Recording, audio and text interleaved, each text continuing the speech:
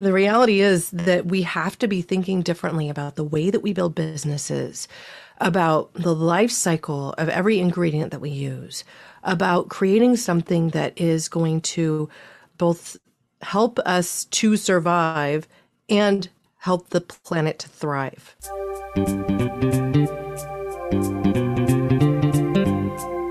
Hello, and welcome to the Innovative Mindset Podcast. I'm your host, Izolda Trakhtenberg. On the show, I interview peak performing world changers in the creative, social impact, and vegan spaces. If you like what you hear on this episode, you're going to want to check out the bonus mini episode that you can access if you DM me at Izolda T on Instagram and you let me know you want it. You'll get access to bonus episodes, new art, my latest writing, and other fun benefits. And now, let's get to the show.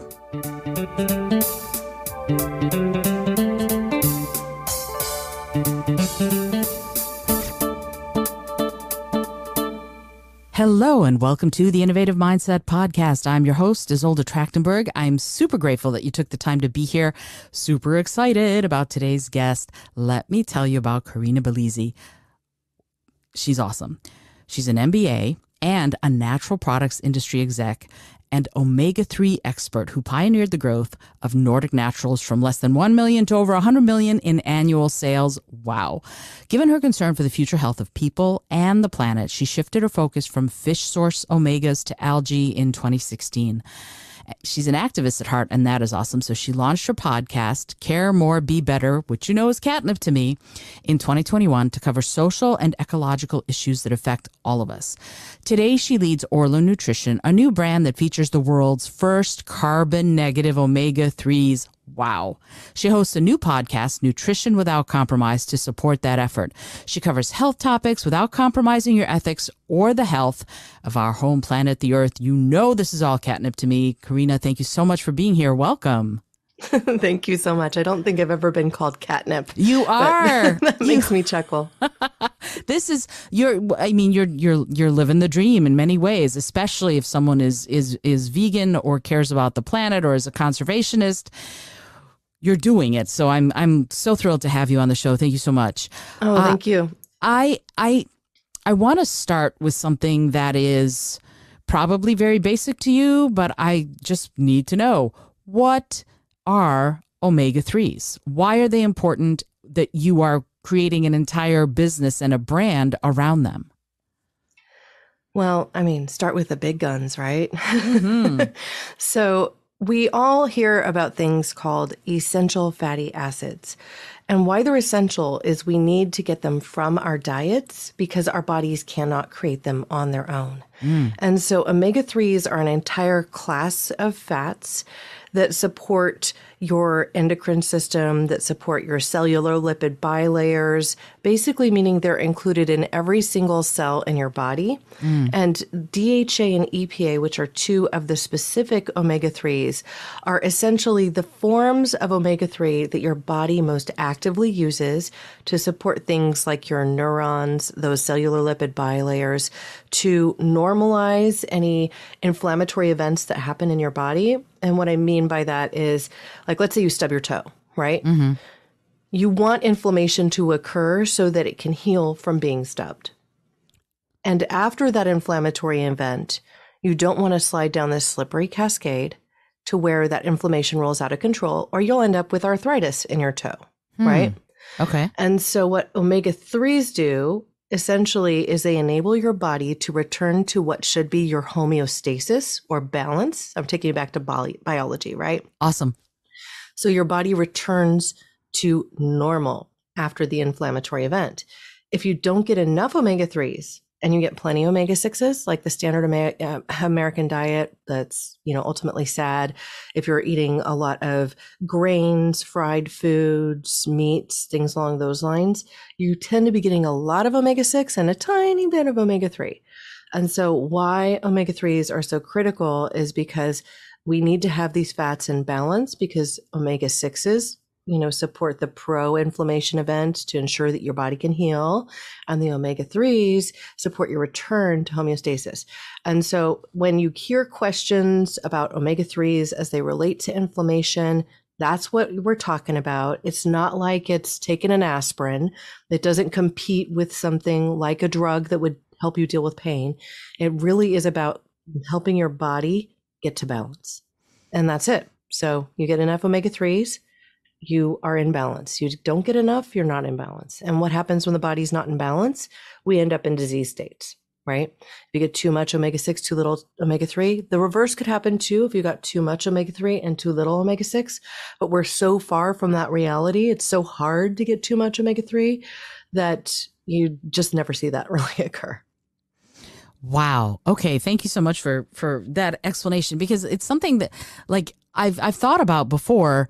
When you twist your ankle, you sprain your ankle, it becomes immobilized and it hurts almost even more once it's doing the once it's swollen up. But the swelling keeps it sort of immobile so that you can heal and then eventually maybe even have to go through physical therapy or whatever. But it sounds to me like what you're saying is that omega 3s allow the body to help with that, to help with removing all of the stuff that was there to immobilize whatever the stub toe or the twisted ankle, and then to to what flush out to remove. How does that process work?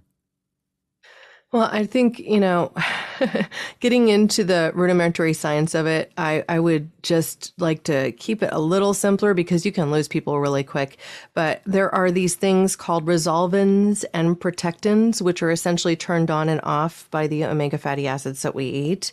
And so you resolve the inflammatory event or you resolve the issue um, and that's what the omega 3s support that pathway. They support the resolvins and the protectins.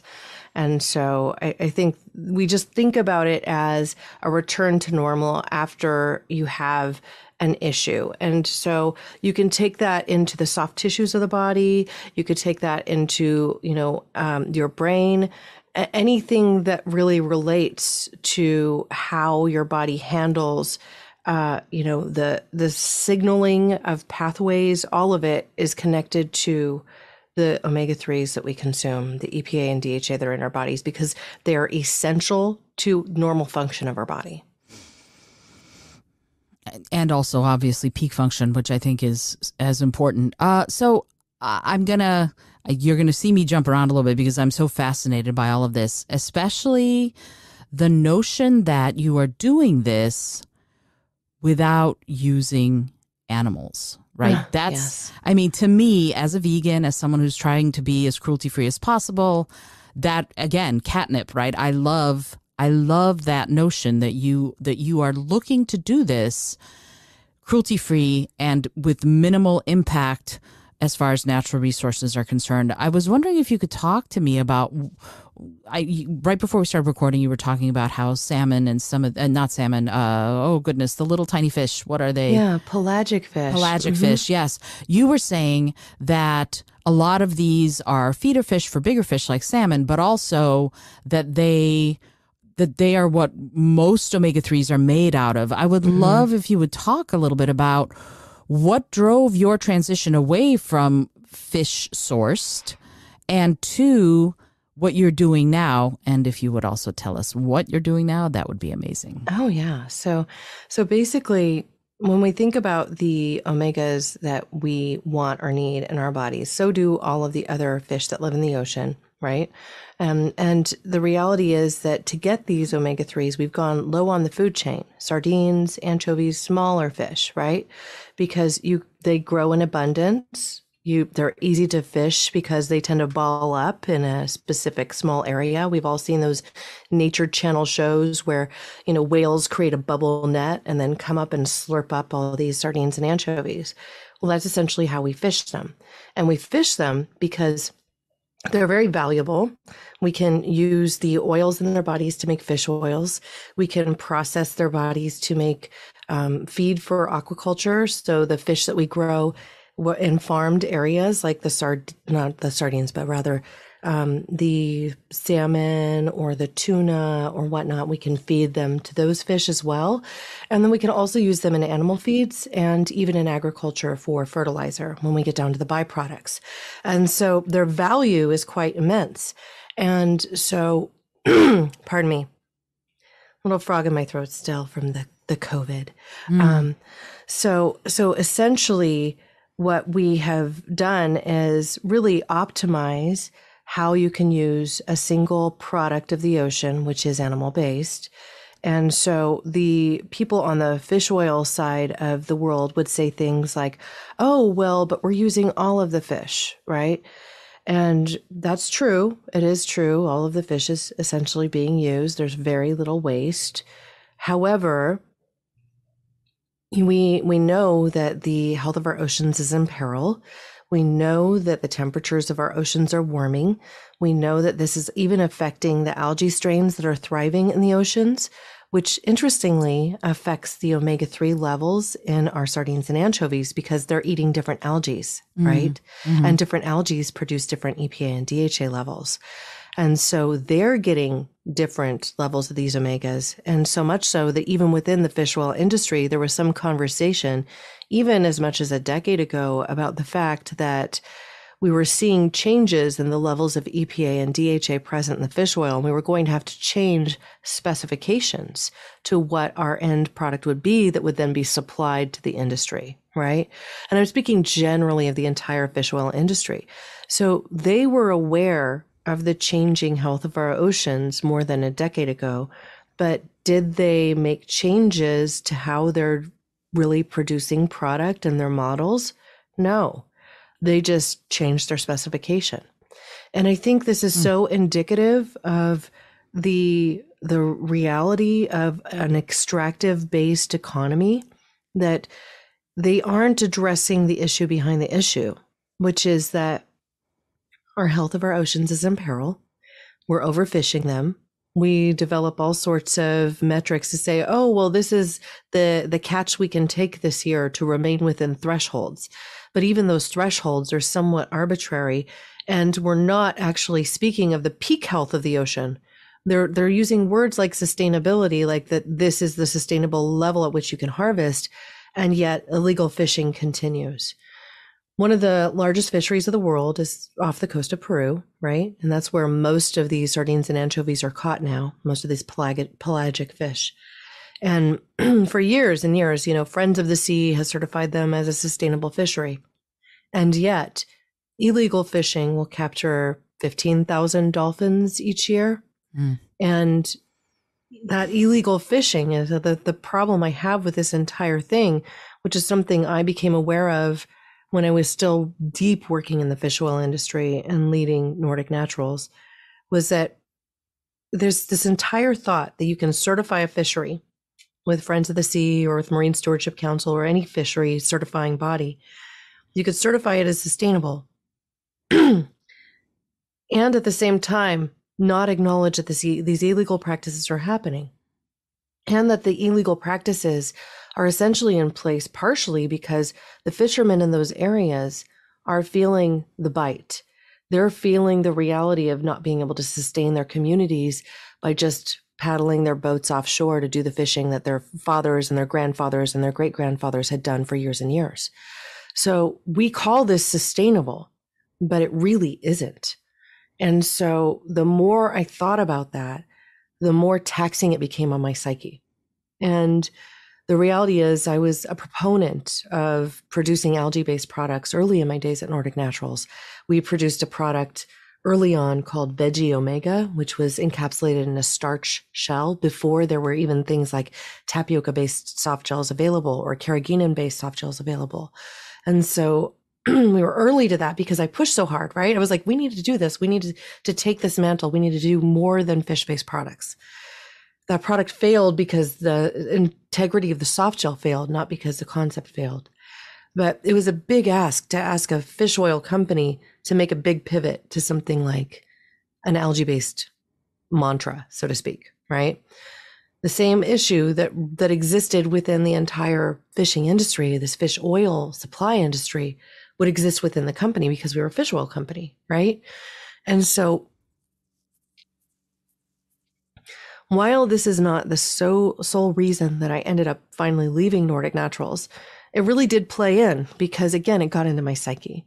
And so over the course of the last 11 years that I have been out of that company, I have focused mostly my efforts on plant based supplements and omega 3s.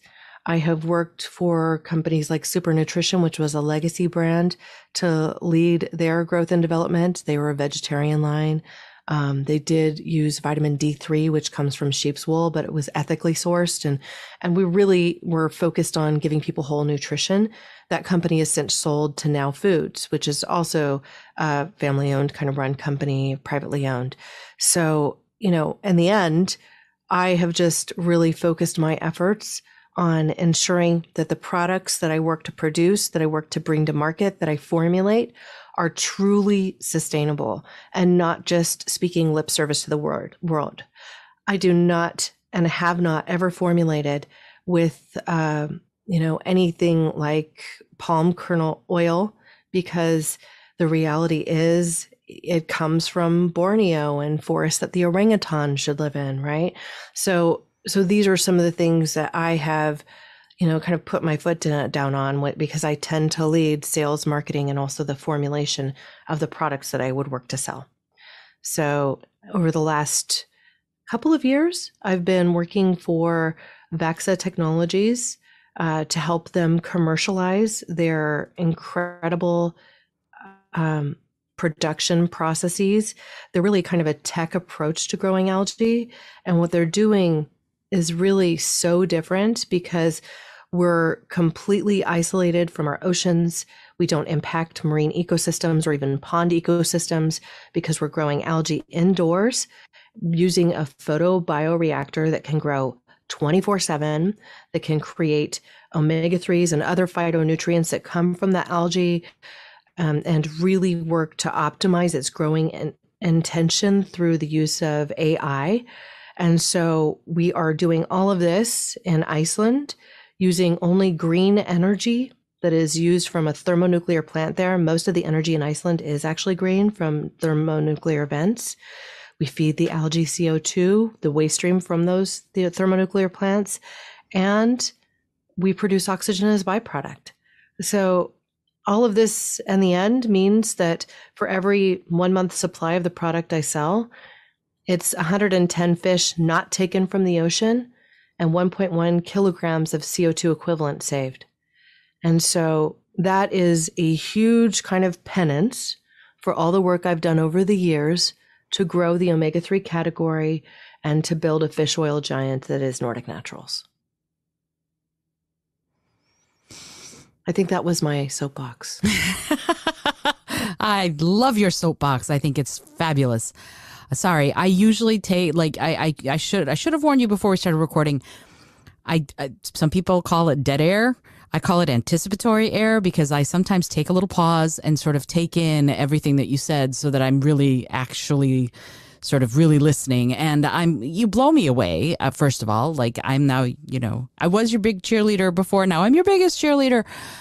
I I, there's so much to what you just said that I want to unpack, but one of the things that I uh, am sort of really thinking about right now is sustainability versus conservation. And when you're talking about carbon negative. Being carbon negative is huge because it's not just carbon neutral. It's not, you know, you take out what you put in. You're actually doing something that is that is incredibly innovative because I think we need to we need to be looking further than tomorrow. We need to be looking 10 years, 50 years, 100 years from now.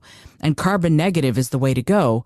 So that's a huge innovation. Can you talk a little bit about what first of all, what decided you on this? And I think you probably already answered it when you were on the soapbox, but also how? How are you able to do that? And what are your plans moving forward to keep that going? Well, I mean, the reality is any any task like this is it's a big audacious goal. And I joke around and I said, because that's my bag, baby. the reality is that we have to be thinking differently about the way that we build businesses, about the life cycle of every ingredient that we use, about creating something that is going to both help us to survive and help the planet to thrive. For sure. And so I feel like the biggest disconnect that we've had over the course of the many last decades since the Industrial Revolution really took hold is that we haven't considered the earth as a stakeholder. We haven't considered the ecosystems as a stakeholder. We've been willing to create cheap products by sacrificing the people who labor to create those products. Mm. We've been borrowing from our future time and again, which is something that Paul Hawken, who I had the pleasure of interviewing on Care More Be Better, says so eloquently that we're borrowing from the future. And I think that that entire concept has to stay in our mind as we seek to build the future that we want to live in. And so, how you do that, the how of it, the how of how we've created this with Vaxa Technologies, is by continuing to ask the question over and over how can we do this better? Mm. And I mean, that has come through in the development of the Orlo Nutrition brand in more ways than I could tell you, like the many hours that have been spent behind the scenes, even looking at what partners we seek to work with. I mean, I worked with an, a female led and female owned all female design agency out of San Francisco on the creation of Orlo. I gave them some tall asks with regard to how we designed the product. I said, look, you know, let's think about one thing. We can make black ink from algae. So, what if we were to take a brand and make it monochrome and really just lean into black to create the look because we know we can print with that, right? We can print with waste stream algae created by Living Ink, which is a company out of Colorado. An insane genius, beautiful researcher, Scott Fulbright, who's a dear friend, created this um, beautiful innovation where he's able to replace carbon black ink using algae, right?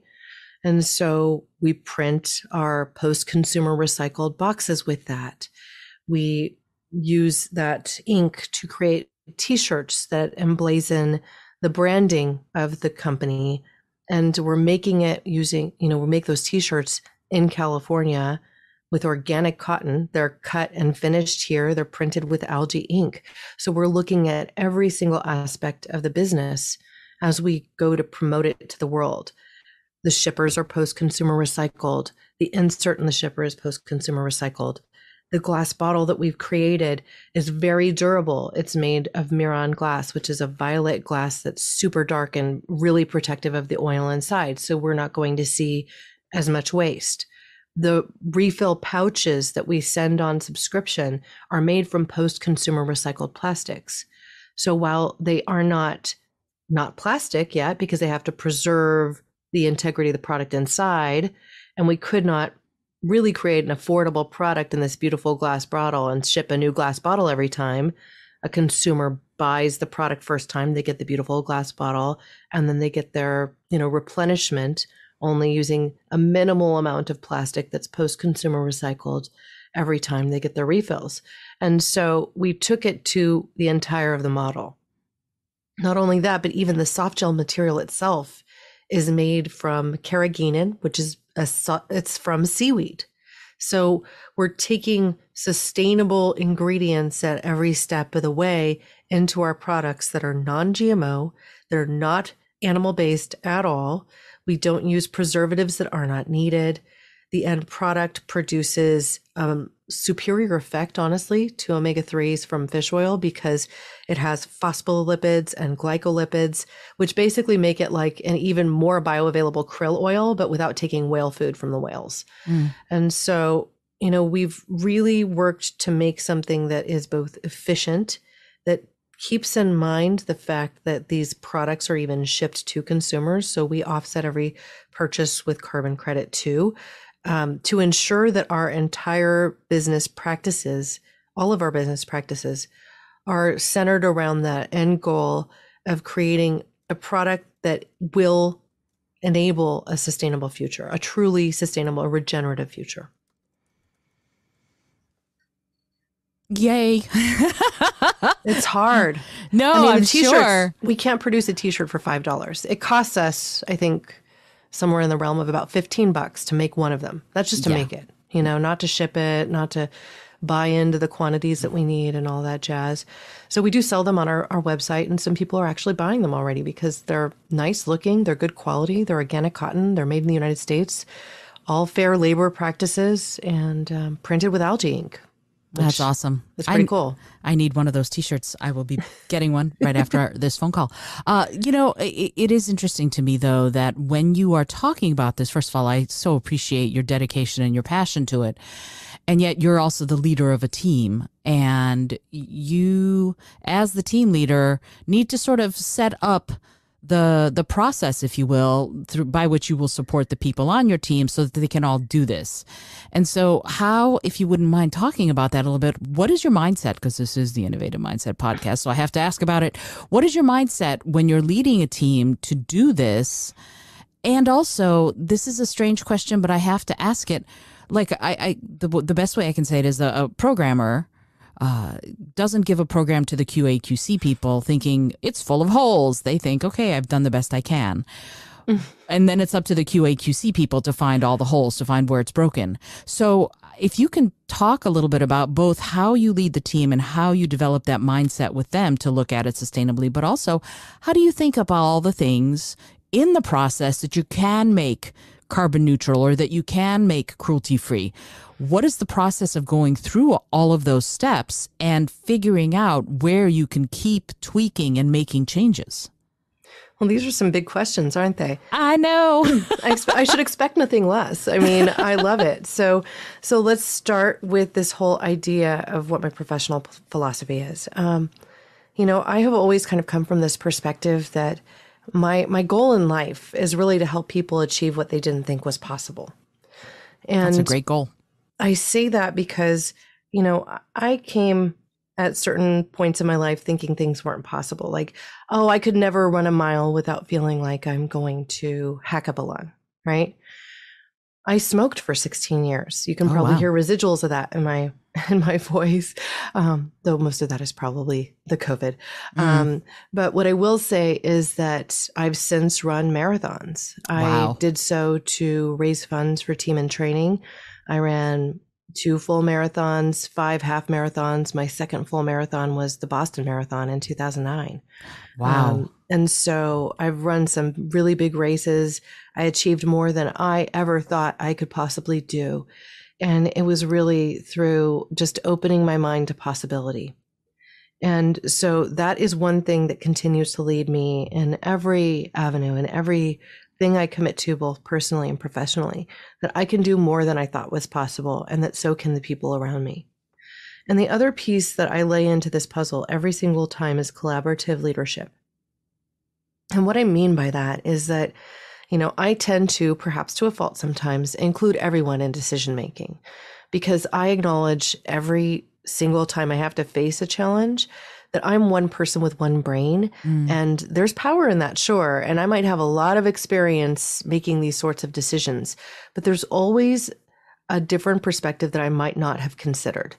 And so I tend to share, you know, even in the challenges, these are the elements that I'm concerned with. What am I missing? You know, how can we make the best decision moving forward? I, I tend to also pair people together in ways that are somewhat surprising, I think, to other market leaders and brand developers. So, for instance, I'm using a social team and a PR team to help us grow Orlo Nutrition. And because I really do value this collaborative work. And I, I, think we do better work together and also make fewer stumbles when we're involved in these conversations together. I have a biweekly call that includes both the PR team and the social teams, where we all come together and share ideas. And so this fosters collaboration across groups that aren't paid necessarily to collaborate together, but they are part of the same venture, right? Mm, mm-hmm. And so they're sharing ideas and my only requisite with them is like, hey, if you're sending correspondence across teams, I just want you to copy me so I'm in the loop. But it fosters ideas, it enables creativity in a way that we otherwise might not see, and tends to save a lot of time. So, for instance, we're using ShareASale as an affiliate partnership to get kind of people out there selling product and advertising it on commission basis, right? Well, they're they both have the login credentials we're all able to see what one another are doing and when one of us runs into a challenge they're sharing it across or we got a really cool influencer that shared something on Twitter, and we wanted to help the Twitter feed go on fire shortly after it launched. And literally, an e blast went across all those teams and said, Can everyone go give this some love? And we acted on that. We act in concert. And so, because we're all bought in to the same thing, because honestly, the teams that I've selected believe what I believe that collaboration is king and that together we can do more that we're actually able to do more and with less time waste and with less, oh, well, this is my job, that's your job, and I'm not going to take on a little extra or provide my insights because that's your job and not my job. So I, I think that that attitude, honestly, is a little toxic. I, I'm allergic to silos. I don't like it when people aren't in it together. And so I create an environment where we're in it together. The common goal is clear and we march forward with locked arms so that we can achieve more, so that we can blast through our own ideas of what we can achieve and achieve the unattainable. And mic drop. I love it. I love it. I I feel uh I feel like what I'm hearing from you is that uh, it's that notion of true true collaboration. And it, it's bringing to mind my favorite quote which is if you want to go fast go alone. If you want to go far go together. And yes and that that notion to me of we we do this together and then everybody's everybody has something to contribute and one person's strength may not be another person's strength. And so together you can make it happen. And that reminds me i don't know if you've ever read daniel coyle's the culture code but you're speaking it's like you're quoting exactly from from that book. I've and, never read it but maybe i should. Well it would be old hat to you so i don't know you know. I mean that that's part of this is that in hearing what you're saying i'm kind of going oh this is that that leadership aspect is so important because together you know the, the the sum the sum of the parts is is you know that whole greater the whole is greater than the sum of its parts is so true especially since you're able to also coach them on mindset a little bit. But it sounds to me like you also chose people who had a similar mindset to begin with I would love your thoughts on that. But I, I still remember that I asked you a question about how you identified the parts of the process that you could uh, tweak and change to make them more carbon negative. So I do remember that question still, but I would love it if you would could ask that answer that question this question first. This notion of choosing your team and how you work with them on mindset. So I mean, I, I don't choose teams lightly. I spend time reviewing, you know, what they do, how they think, and what you're, you know, are they in my world? Because, you know, you can hire someone and teach them to fish, so to speak. Let's just go back to the whole fishing.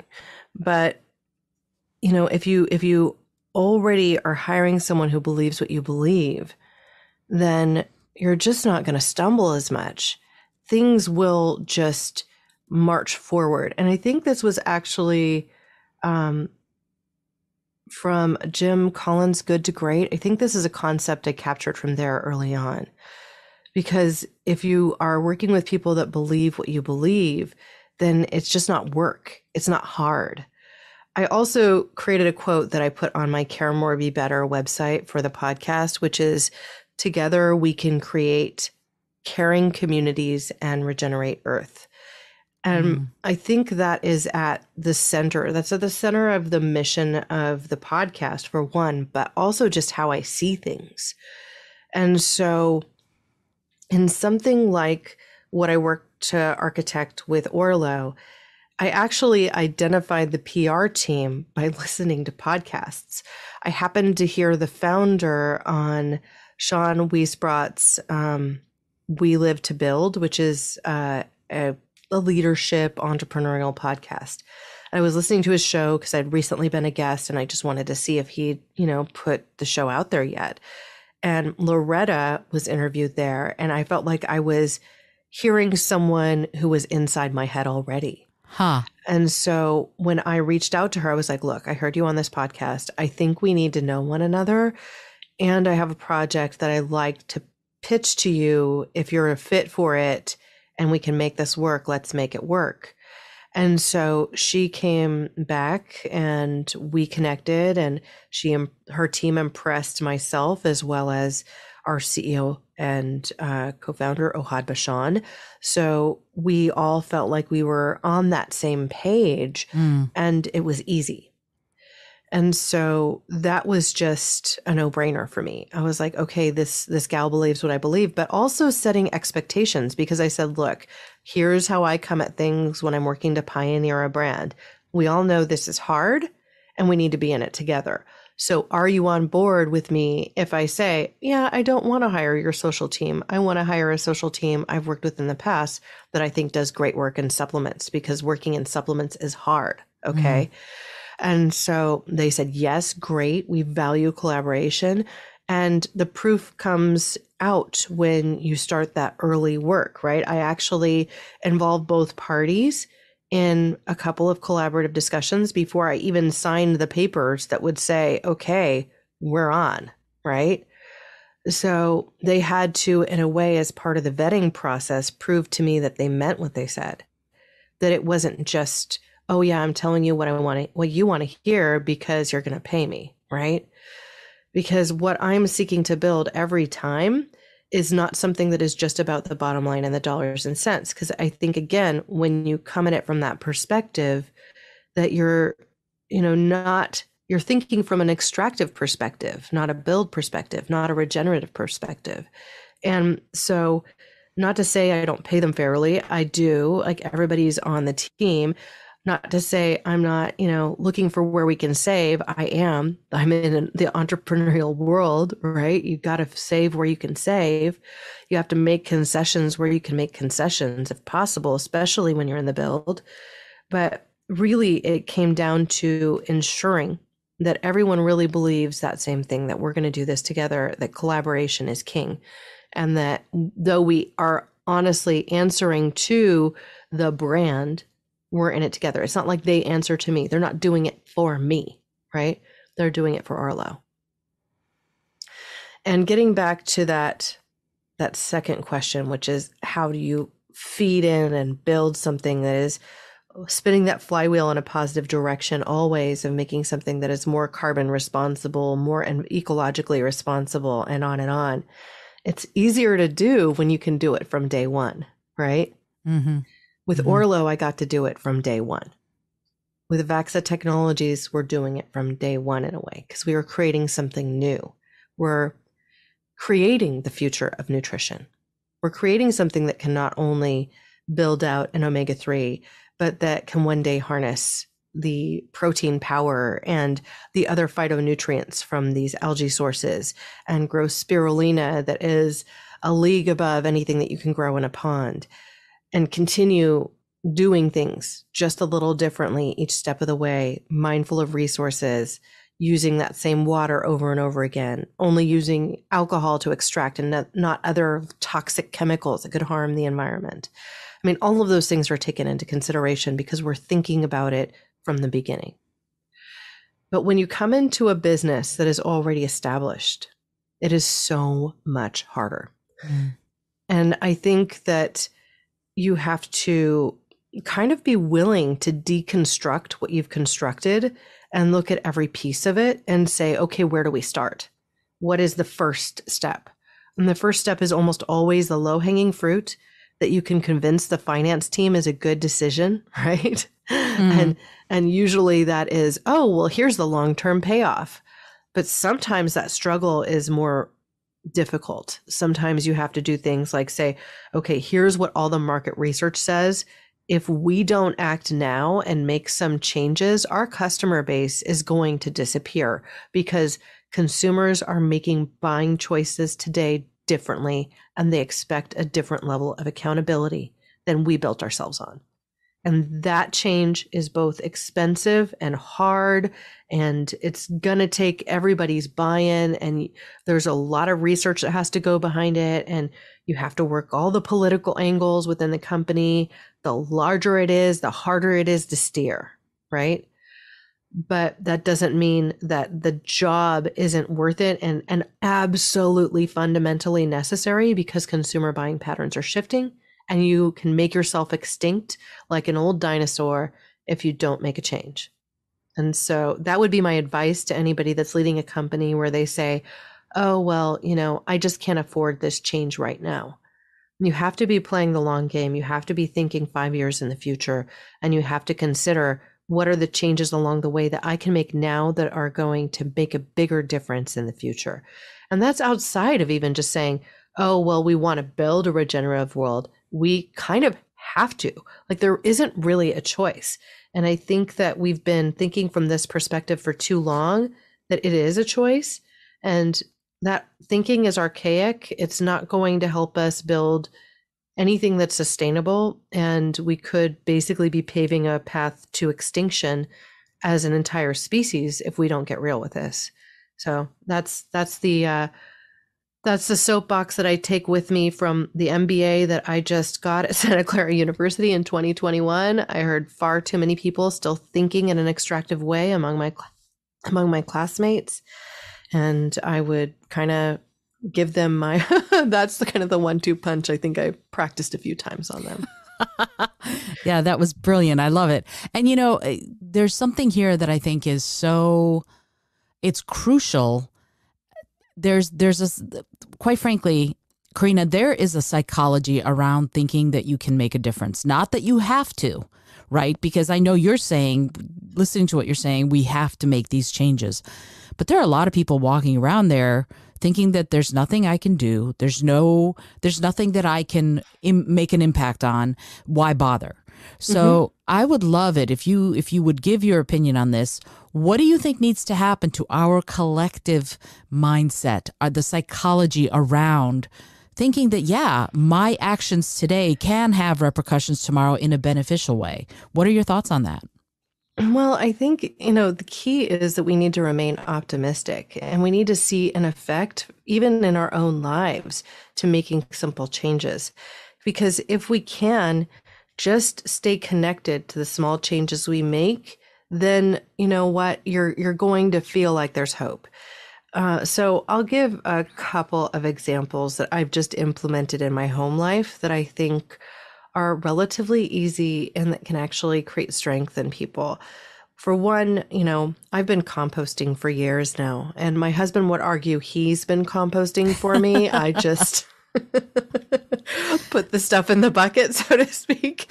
But um, but you know, we use this as soil. I have not had to buy soil for my gardening and I don't know how long, right? Awesome. Because I literally make my own. And because I also knew that it was not likely I would ever convince half the people in my community to begin composting. I lobbled, I lobbied my lobbled. That's not even a word. Lobbied my my local community um, time and again. Even just sending little emails to representatives and saying, you know, we really need to consider what we're doing with all of our food waste. Can we please start putting this in our grain bin? There are some communities around the world that are doing this. Why can't we? We're supposed to be this progressive community in Santa Cruz County get with the times, right? Right. And I did this time and again. Well, this winter, I get a card in the mail. Nobody ever responded to me. Okay. I know I am one of many voices and I'm not the only reason this happened, but I got a card in the mail that said, guess what? You can start putting your food scraps in that green waste bin now. And it includes any of my animal based products, which means if we had a chicken carcass, that we could put that in there too. Now, those were things that I was not composting in my green bin because mm-hmm. of, you know, the critters that it would bring in. Right. And because of smell and other things. So now, guess what? Our household is even able to be greener. These things have a measurable effect organic matter should be put back into organic matter, put back into earth, used to create soil so that we can have healthy topsoil, so that we can grow healthy food. I know I'm preaching to the choir, but like this is one small thing that I just committed to.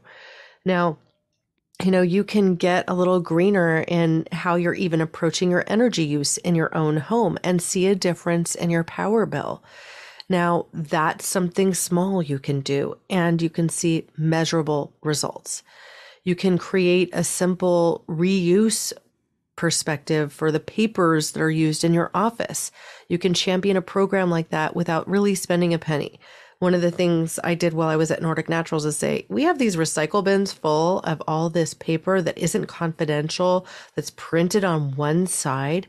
Can we please make two changes? For one, can we make it automatic that everybody who prints prints on two sides of the paper within their computer settings to save on paper resources unless they opt out of it?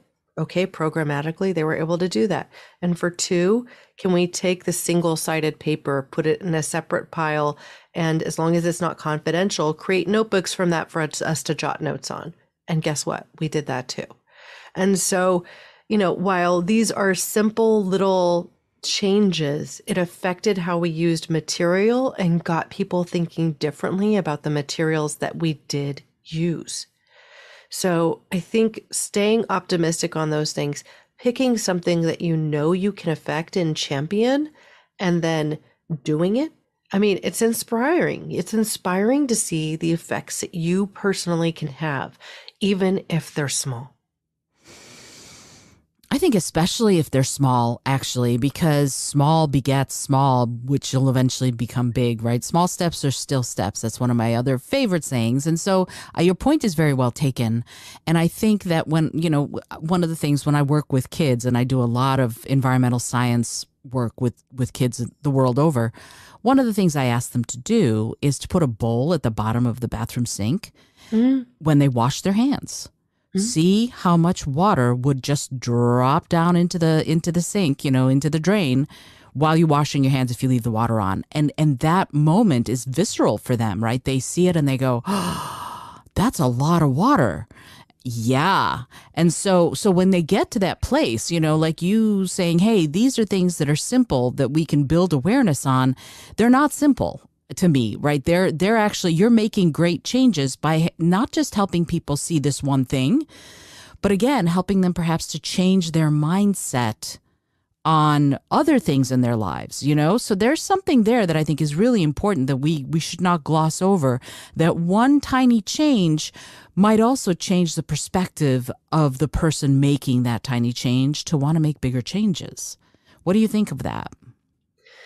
Well, yes. I mean, I, I I'm reminded of the intense drought we've had here in California and you know the fires that have raged and everything mm. else i mean i've gotten very wise about how we use our water we have rain barrels to capture rain and we use that to water our fruit trees we don't water our fruit trees in the summers anymore so they just get the water they get from the rain season and also from the rain barrels.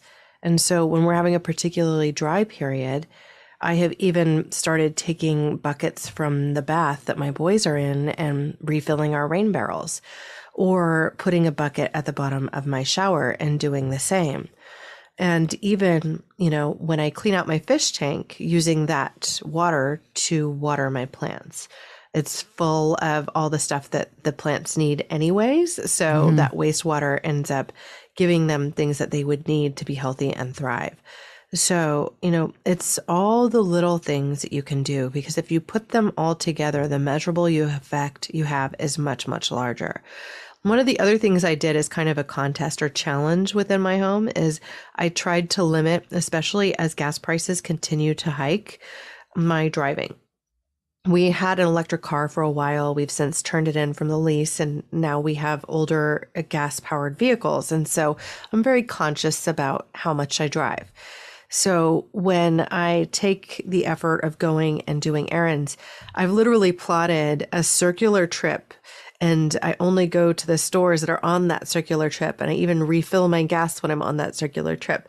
And so I try to limit not only the miles driven but the efficiency of the trips I take mm-hmm. and have moved more of my exercise into the home so I'm not even driving to the gym as frequently. Though I still do go, you know, cuz I like the equipment here and there. Overall, these changes have meant that I'm saving money that I'm not expending as much carbon, and that my kids are also now becoming conscious about when they ask to go places because they say, Oh, well, mom, when you're on the way to go do X, Y, and Z, can you take me here? Can we go there? Because it's just becoming endemic, it's becoming the pattern, right? Mm-hmm. And so they're learning about this at the same time without me having to sit there and lecture them about resource use and mindfulness about things like gasoline. It's just becoming the norm for them.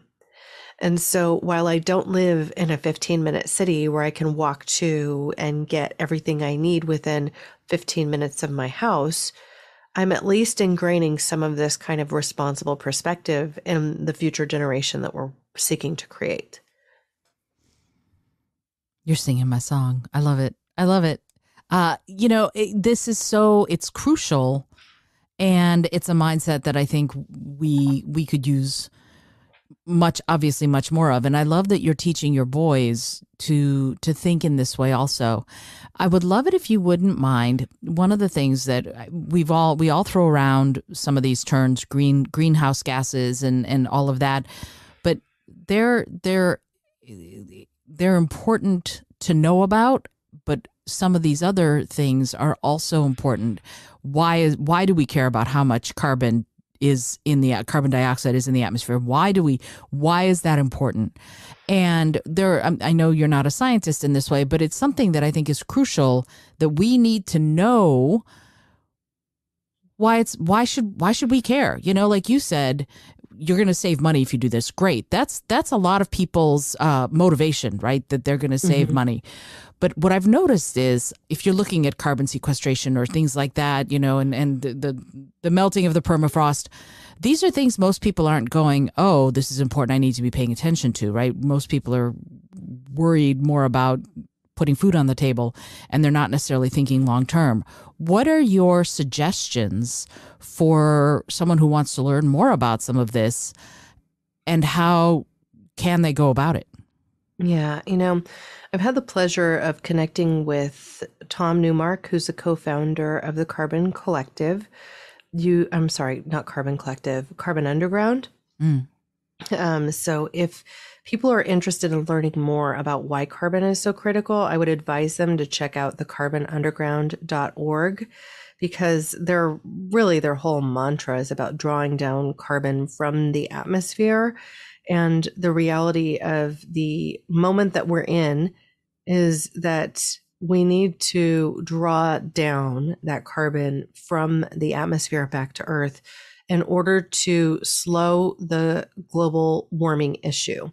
And the reason we need to care about that is because we're already seeing those thousand year, 100 year, 20 year storms with increasing frequency and they completely disrupt our way of life. And so, even if you haven't been concerned with this, it's something that we could all benefit from learning more about. So, for one, we need to sequester more carbon, which means draw it down from the atmosphere so we don't have as many greenhouse gases up there. It's one of the few greenhouse gases that we can actually affect. Many of them we can't draw down. And so we need to look at other ways that we're leading our lives. And one of the big ones that people will know about is methane.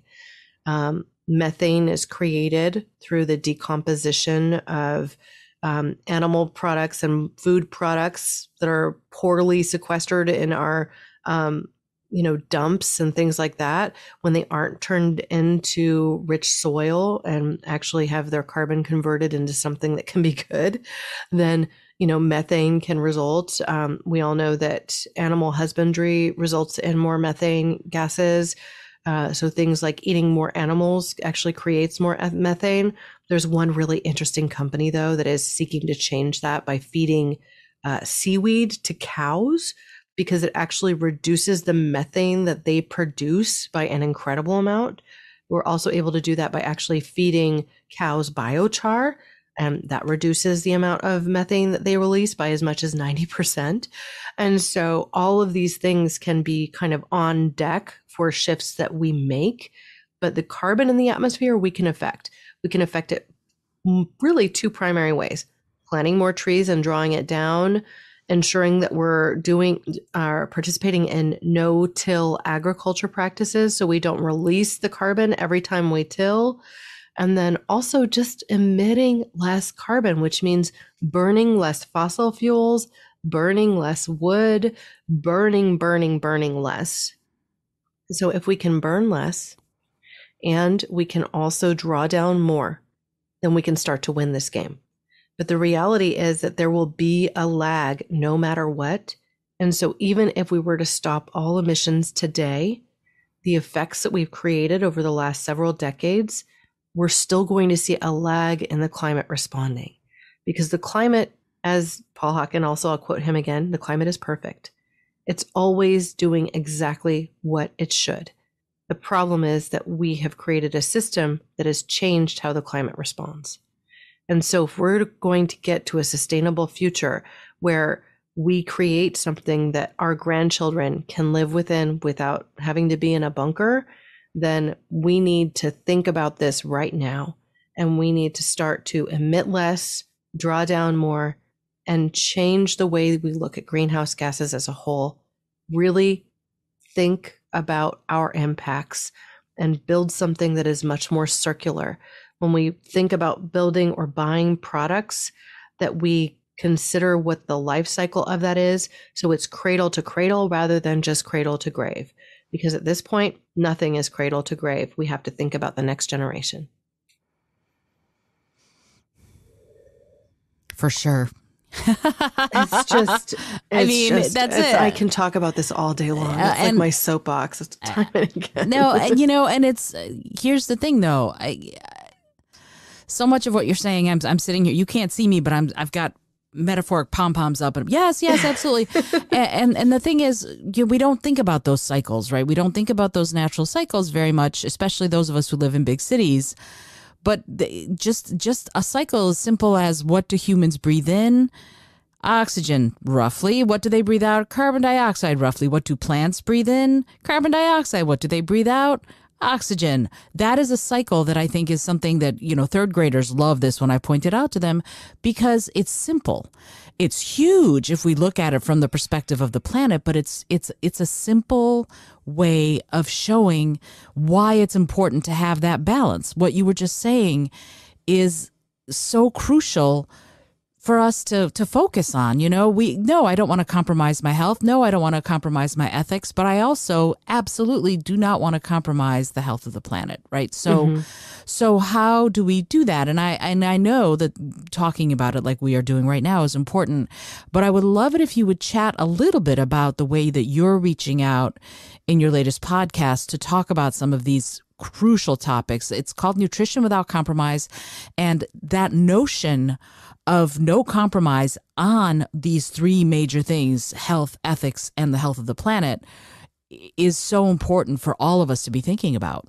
Right. And I think one of the primary reasons I haven't made that like a vegan focused podcast. Well, for one, there's many out there. But for two, I really think we have to have conversations and serious conversations about animal husbandry and how we are actually acting in concert with our entire food system, right? And so, what I seek to attack with that podcast is really supporting people's understanding of how we can live our healthiest while treading a little lighter and a lot lighter, right? And so, what I'm seeking to do is give people the basic education and tools that they would need to be able to make small changes. And sometimes those changes are even just in their mindsets. Like, how do they think about the trees in their yard? How do they think about the weeds in their garden? Um, I got the chance to interview Dr. Bill Moomaw in, an, I think that was episode three, or no, episode two. Um, and he is the progenitor, uh, he came up with the term proforestation. Mm. He also shares the Nobel Peace Prize with Al Gore and his team because of his work with the Internet Intergovernmental Panel on Climate Change. He was the lead author of the first five reports.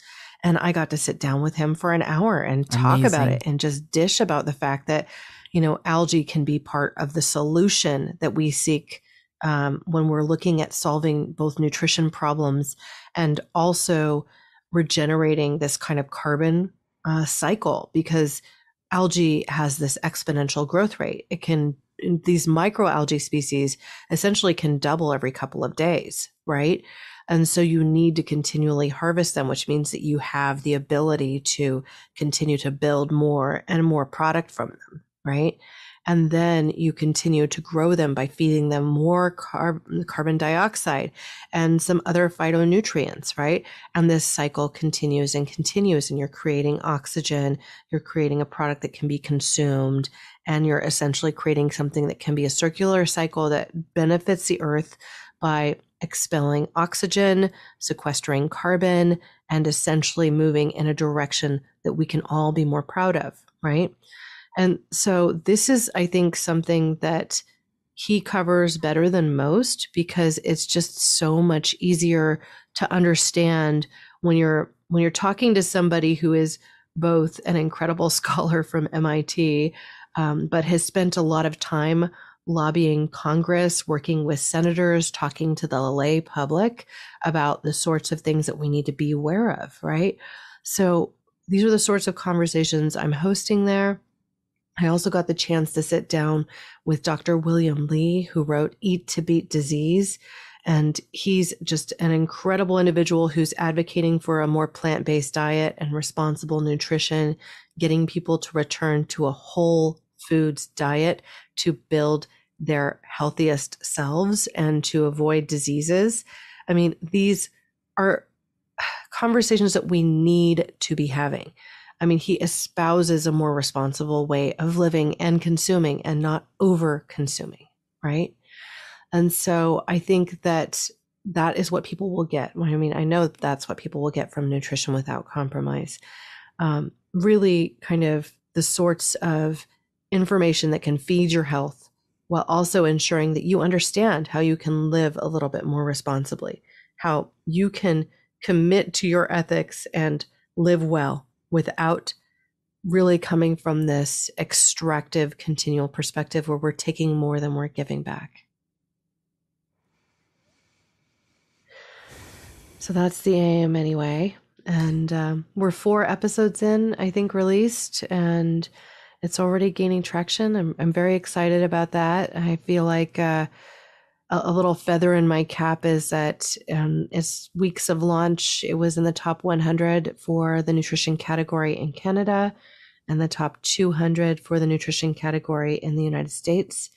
And this is as rated by Apple Podcasts, but I just got an email this morning that it's number one on Good Pods in independent nutrition. So, yay! Though that's great, and and especially since one of the things that I love about about your show is that it is looking at both individual health and also the health of the planet. I mean, most of the time we're not thinking nutrition for me equals how it impacts the planet, and I love that you're doing that. And I think it's, I mean, for me, I'm I'm I'm right there with you, uh, and yet when we're when we're talking about this stuff we have again that mindset idea of i'm thinking bigger than me i'm thinking bigger mm-hmm. than me and i i love it and i find that sometimes people again get scared of it so i i'm glad you're out there doing this work uh, and and i'm grateful to you for for taking the time to be on the show and to talk about this it's a huge topic but it's also extremely personal and I, so i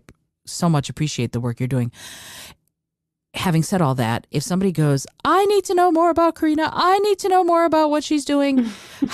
how, what are, what are the best ways? Do me a favor. I know people learn differently, so I like to have sort of the, I'll put all that stuff in the show notes, but if you wouldn't mind saying, what are the best ways that someone could follow you or reach you? I would love it if you do that. Yeah, you know, um, I'm probably easiest to reach if people are interested in collaborating in some way via LinkedIn, just because I'm the only Corinna Bellizzi out there, so I'm pretty visible. And you can see the many things I'm involved with, including in the world of podcasting, because I do have a few podcasts. Um, and what I would say about everything I'm doing with Orlo Nutrition and Nutrition Without Compromise is that simply by following at Orlo Nutrition on any of the social platforms that you love, you'll stay apprised of what we're doing there because that's where I tend to share that information. I'm also active on Care More Be Better. And so if you um, have a topic that you'd like to see covered in the sustainability space that doesn't touch on nutrition, you can always go to that website, which is caremorebebetter.com. There's even an option to leave me a voicemail by clicking a microphone in the bottom right corner. And so I encourage people to check out the podcasts and also Orlo Nutrition. And if you want to talk to me specifically about something related to nutrition and sustainability, if you have a guest you'd like to see featured or a topic that you want to see dug into a little bit, I love that investigative journalism and I'm willing to put that hat on just about any time. You can always send me an email at hello at orlonutrition.com. Because again, that's everything for nutrition without compromise and also the omega 3 products we're releasing. It's um it's a repository for everything related to that. Awesome. That is great. And I just noticed looking at the little things that I have, I don't have your LinkedIn. Uh, you you gave me Facebook and Instagram and oh. Pinterest and Twitter and TikTok, so we're going to have to need to make sure that that I get that URL so that I have it. I, you being the only Corinna Bellizzi that that makes it a lot easier. But but I like to make sure that I have if someone wants to find you, that they will be able to find you very easily. So again, Corinna, thank you so much for taking the time to be here.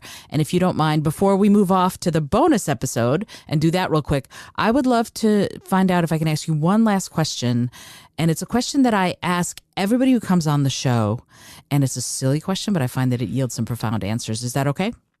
Of course. I Yay. love silly questions. Yay, good. All right, cool. So here is the silly question. If you had an airplane, environmentally friendly, of course, that could skywrite anything for the whole world to see, what would you say? Hmm.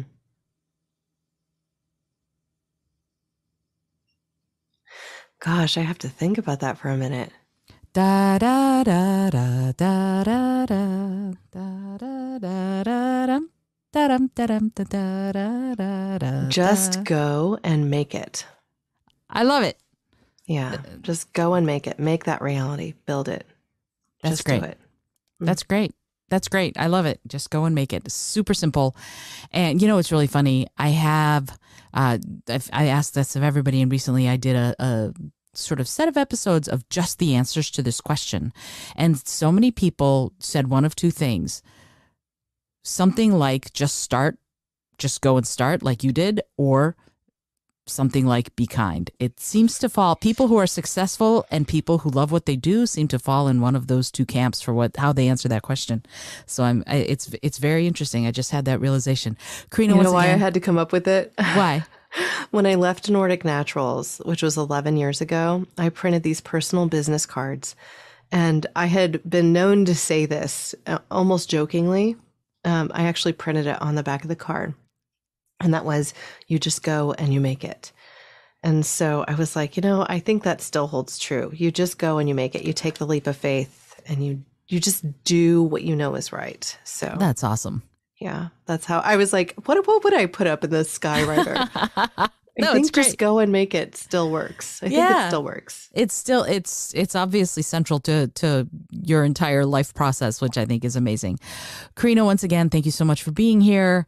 We're going to be back in just a minute to do the bonus episode, which I'm super excited to get your thoughts on.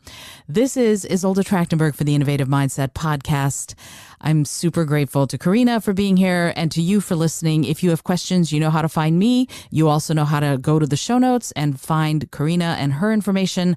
Until next time, as always, I remind you to be bold, be creative, and most of all, be kind.